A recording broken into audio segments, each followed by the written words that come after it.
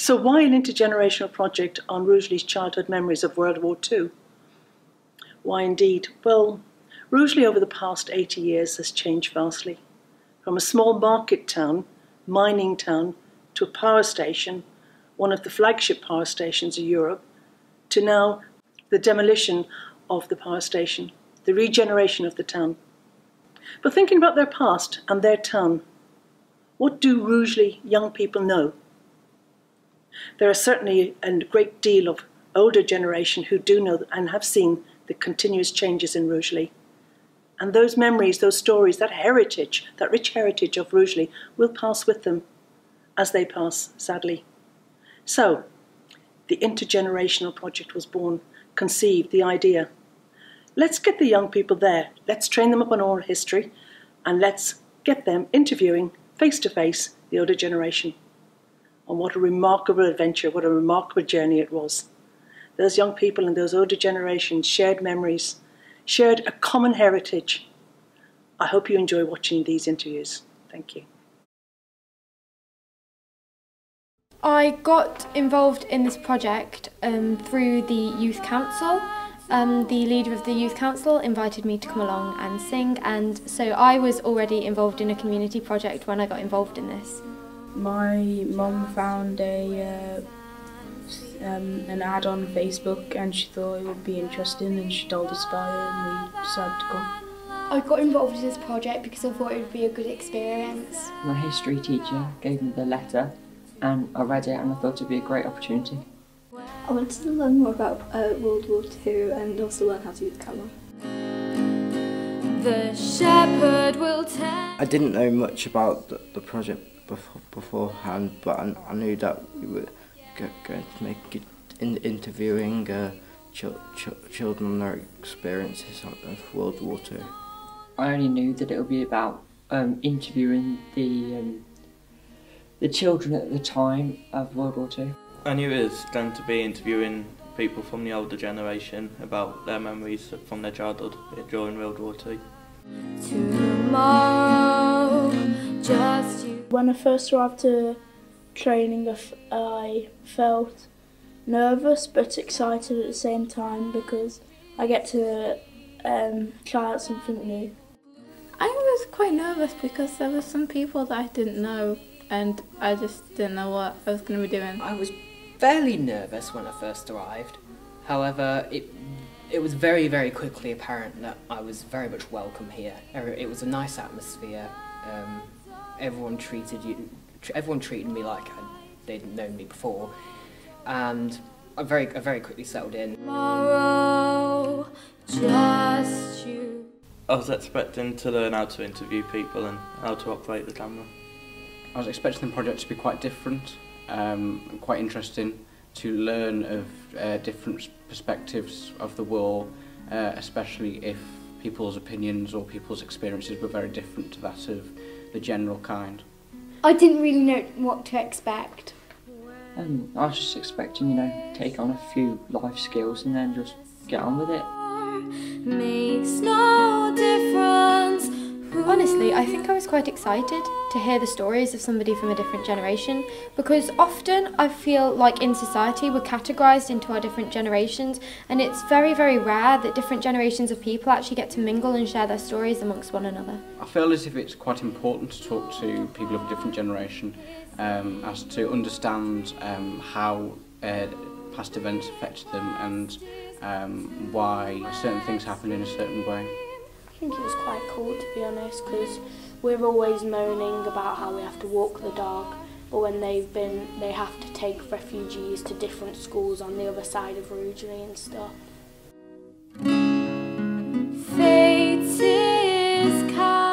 I've learned that interviewing is actually quite a hard job and but it is really really fun. I learned about different people's lifestyles in World War II. I learned that how it was to live in that time as a child and that how, what you'd have to do like if there's an air raid siren and stuff. I learned to set up a camera, start filming it and how to interview people. I think the main thing that I've learned from the process so far is probably how to talk to people, how to really communicate what I want to say, and how to guide a conversation in an interview in a way where I really get to learn the interesting stories and the happenings in people's lives. I think the best part of the project was possibly it's po- possibly the actual interviews themselves, um, being able to sit back and these questions being asked and hearing the, some of the answers there are. It's really, really inspiring. People back then, they went through a hell of a lot more than we've gone through now, and I really, really think that that's that's pretty amazing. The best part of the project would probably be listening to the men and women talking about what they did when they were young in the war. The best part of the project was hearing about hearing stories about people from World War Two. I don't think so far there has been a worst part of the project, no. In my opinion, the worst part of the project was being interviewed because it's like really nerve wracking. Honestly, I don't think I have a least favourite part. I've really enjoyed everything so far. I would like to find. I, I, I would like to find out more, more, more experiences from different point points of view. I'd definitely like to uh, find out the perspective of the female during the wars because they played a different role to males, whereas the our male counterparts they were going out and they were actually batting on the front lines. Females were back here and they were processing bombs and ammunitions, and it'd be really interesting to hear how that went. I'd like to find out how to edit the videos, which I do. It'd be nice to like learn about the after the war, like people when they're becoming adults or something afterwards, like see their perspective instead of just a child's perspective. I'd like to find out even more perspectives of World War II because, um, especially from other areas as well, um, because most people who grew up in Rugeley would have had a very similar experience, whereas those growing up somewhere else might have had a totally different and possibly even a better or worse experience of World War II. Troubles melt like lemon drops away. I think it's actually quite good because it's um, improved my confidence and also I know a lot about World War II when we do it in history at school. I could use the skills to probably interview more people and learn more things about the other generations and everything. Be- because I, I'm aiming for a career in me- media, uh, I, feel like I, I could take the skills in filming and record- recording and it will assist me if, if I get a job in that area. Why, oh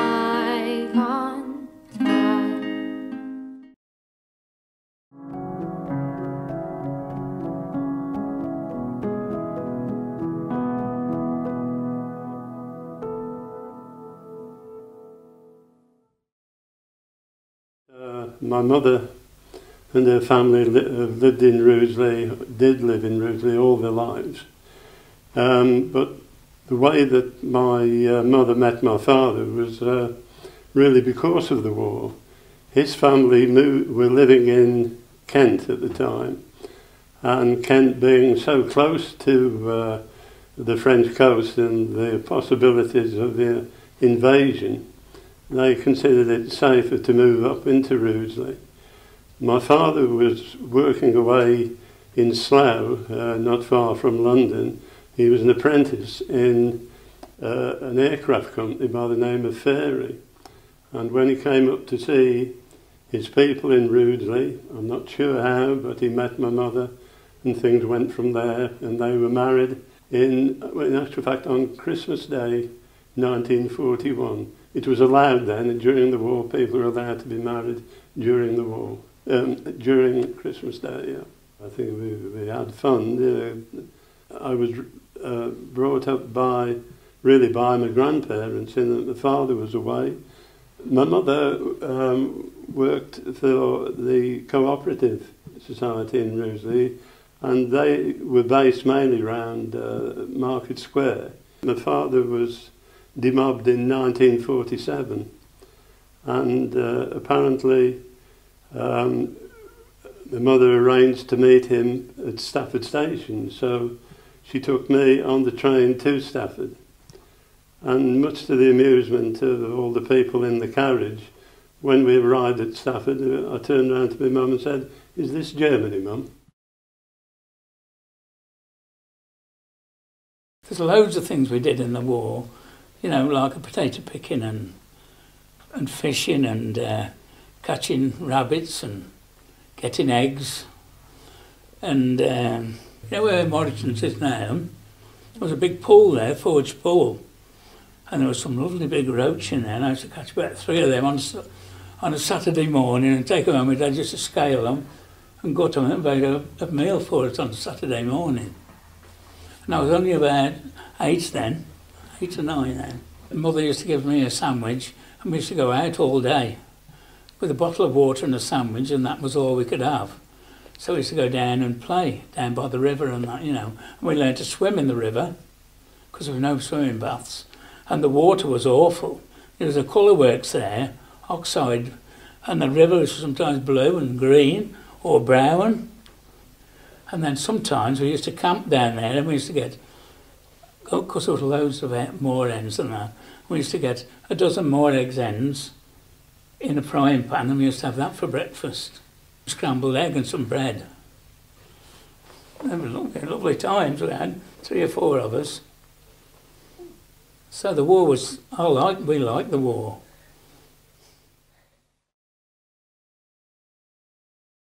We used to sit at night cutting up strips. And she used to make her own peg rugs.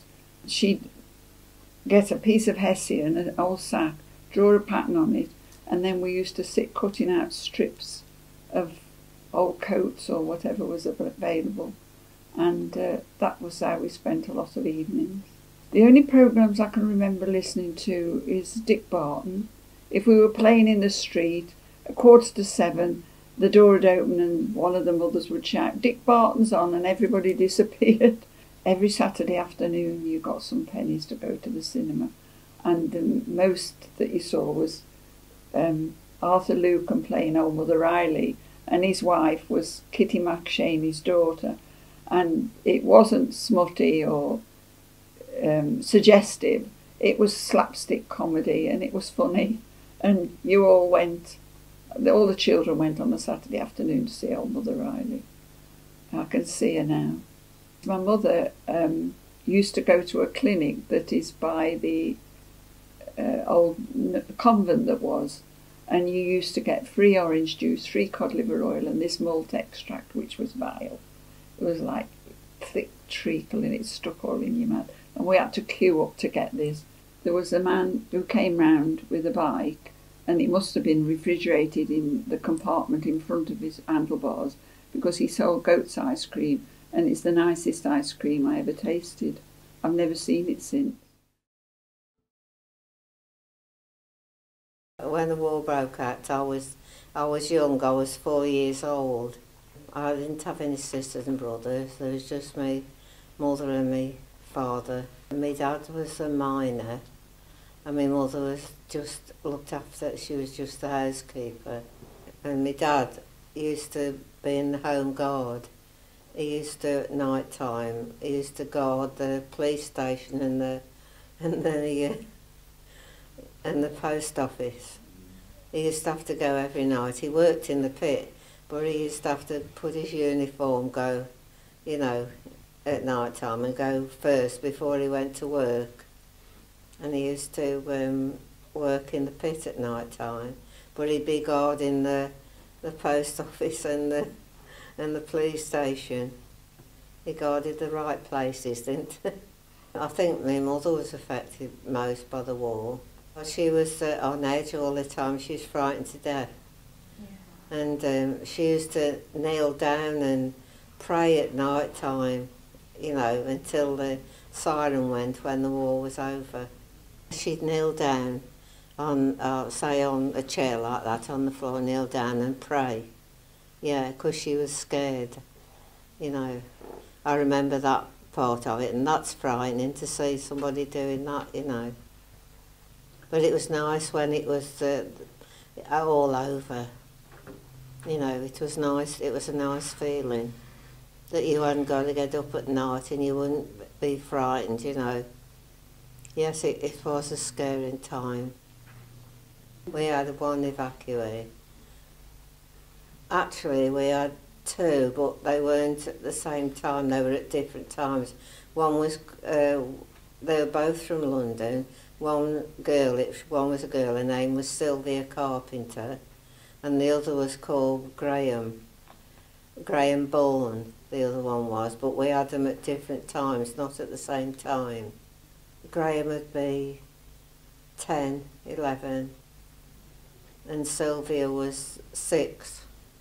I used to have to be in charge. I said I used to have to get them to school at Slitting Mill, and I hated that because I had to go from Agley Road all up, you know, to you know where the cricket field is, that um, there, and then I have to watch them go up the hill, and then I used to dash down and get go to the Catholic school. you know, they were they were they went home with with clothes and things when they went back after the war. You know, because my dad treated them the same as he treated me. You know, they both, they were looked after all right, you know, and, and they were fed and clothed. The evacuees, yeah, uh, you know, they've been friends ever since. They have kept in touch with us, you know. That was something, wasn't it? You know, when you'd looked after them and... Well, fruit was, I think, one of the worst things for rationing um, because you had to queue uh, for fruit uh, and use your coupons. My mother came home one day with some bananas which she'd had to queue for for quite a while. Came home with a banana for me and I didn't like it. so that didn't go very well.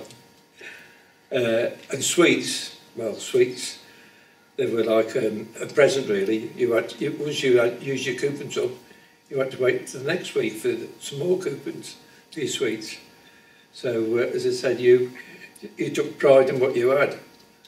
Uh, I can remember um, in the town hall where you had to go with your coupons to get certain people could get powdered milk and orange juice uh, until rationing finished. So these were the kind of things that you uh, you didn't take for granted. You, you had to, you know, if you didn't like them, well, tough, that was it. You didn't get any more to next week. Well, clothes, um, we were lucky in Alls Fair there was a men's shop but um, and a ladies shop. But as I say, obviously things that uh, were redone. If you had a, a long pair of trousers, uh, it had been a short pair of trousers uh, and things like that for the so things were recycled. There was one programme which I think all the children listened to, and it was called the Ovaltineys Club. But that's the only thing that I remember about uh, radios, wireless, wireless as they were called then. Except one particular thing. Next door to the to the uh, street where I, where I was born was a garage. And wirelesses in those days, the power for them was an accumulator. Well, it was called an accumulator, but it really was a battery. And it was a glass about so tall, and it was square glass, and you could see the elements inside the glass made of lead, maybe, or something and it was full of liquid. And I used to take this accumulator from, from my mum and dad, and, and my granddad as well, my grandma, grandma and granddad as well, take them to the garage for charging, because they would run down, take them to the garage, and their garage would put them on charge. But they were rather heavy, and I used to, I remember, I used to struggle with them to get to the garage. And some of this liquid in it used to leak out of the top and run down my leg. And it, it was sore. I learned later that it was, that it was hydrochloric acid. And so this acid was burning, burning my leg. But it, it, I didn't, it didn't matter to me. It was just a little bit uncomfortable for a while, but the most important thing was getting the battery charged, getting it back in the wireless so that I could listen to the Ovaltinis. I uh, started school in 1943. I had an incident with one of the school teachers when we was allowed two ounces of sweets a week uh, from out of, our, out of my, my mother's coupons. She used to tear a little thing out which says two ounces. I took it to the shopkeeper and they gave me two ounces of sweet, sweets. I took them to school and I was eating one and the school teacher took the sweets off me and uh, she put them in the drawer said you can have them at the end of the day. I never seen them so she must have ate them so you know uh, that wasn't very nice was it? When it's only two inches I was going to get that week. You got two inches a week and that was it. At home you know, one thing I noticed, I could remember very clearly when I was around the age of five, six, was that the windows, they were all black, roller blinds, no, no curtains, all that, roller blinds, all down. Uh, didn't use much electric, it was all candles, candles and more candles. If you was in bed and you happen to have the odd occasion you hear the sound of an aeroplane, we used to, there was four four brothers in this one room. We all used to get out of bed and get underneath get underneath the bed out the road kind of thing. You know, it's the only thing you could do because we hadn't got a air raid shelves in the in the vicinity of Crossroads where we lived. We used to play cricket in the road. We used to get a dustbin lid and put a stick through the, the handle in the middle of the road. It wasn't a cricket ball, but it was a hard ball we used to play cricket with. It. And if, you, if it hits this lid, you're out. You'd, you'd hear it, you wouldn't have to look. We did keep some pigs, and we used to have a pig killed every now and again. And I used to watch this pig being killed really, which I suppose now when you think about it, it, it's horrible. But to me, it was one of those things that just happened. And the man that killed the pig, he didn't live very far away from us, and he'd, he'd have a, a very big scrub top table, not a very high one at all, probably about 18 inches high or something like that. And he'd take the pig out of the pigsty, walk the pig along to this this table, walk the pig along to this table, and he'd get somebody to help him pull the pig onto it and fasten the pig down, and then they'd cut the pig's throat, wouldn't they? And of course, when the pig was killed and they were cleaned it all out and everything like that, my uncle used to cure it in the front room that we called it. But there was two halves to it. Took all the innards out and everything like that, which really and truly we threw nothing away. My granny used to clean the innards from the pig, which was called chitlins in them days. She used to do it three times a day in cold, running salt water. And her hands used to be blue with the cold because of, of, of washing it. And then she boiled all them chitlins up which to me that was beautiful. then when the when when the pig was cured, we'd hang it up on the stairs as we went up the stairs. It, it'd be on the wall. There'd be a big uh, sheet put on the wall, and then when we wanted any bacon, my granny would just go and get some, get a big knife and cut some strips of bacon off. It was September, the war broke out. But we had to have blackouts for a start off. Every window had to be blacked out. So we couldn't show a light after five, well, uh, as soon as it was dark, everything was blacked out. And of course all cars on the road had to have special lighting on. They was reduced down to something like that. A shower uh, uh, over the, the, the, light and just a little light like that shining through so people could see where they were going like. So it was very difficult. Of course, playtime then, we were, we were allowed out during the evening time, although it was pitch dark, we used to love it because we could do what we liked then. Some things we shouldn't do, but we did. And of course, in the early 1940, when I was going into 10 years old, the first sirens went off, and of course the bombs didn't drop round here, but the planes going over at night was very plain and you could tell that the weight of the bombers going over was very loud and heavy and there was a droning sound to it all the time. And of course when they returned the sirens went off. The light the lightness of the planes going over was so much different after they dropped the bombs, wherever they dropped. Of course when they bombed places like Coventry and different places we could see the fires. You could see the flames in the sky.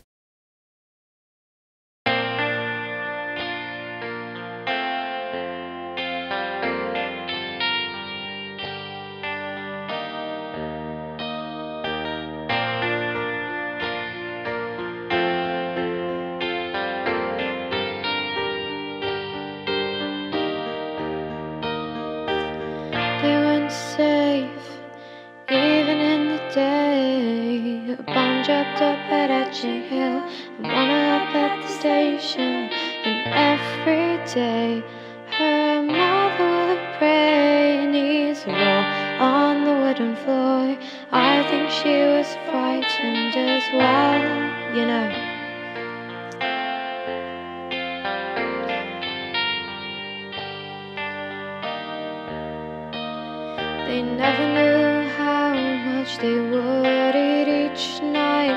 He could with coupons for fruit every once in a while. There's bananas and sweets, quite a delicacy.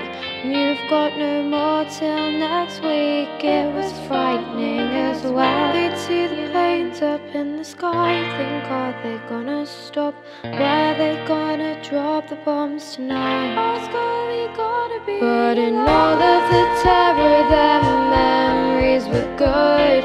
In the midst of the chaos, they lived while they could. They went fishing and picking in vegetable yards, swam in the river, sweets with their rationing cards. They did all that they could in the trouble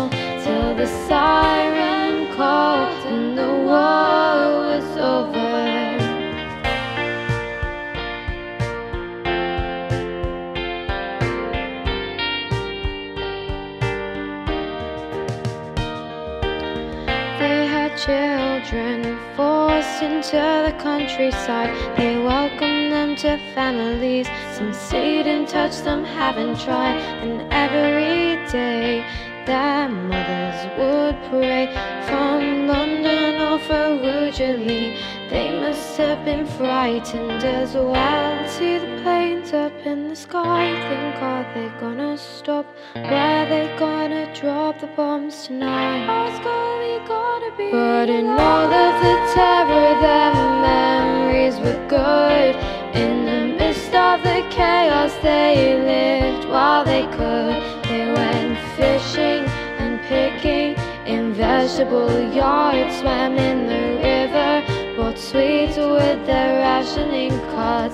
They did all that they could in the trouble till the siren called and the war was over.